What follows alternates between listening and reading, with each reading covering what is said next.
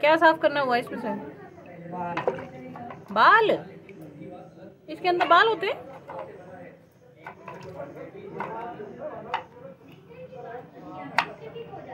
Good job भाभी। Good job इतनी शिद्दत से आप साफ़ कर रहे हो।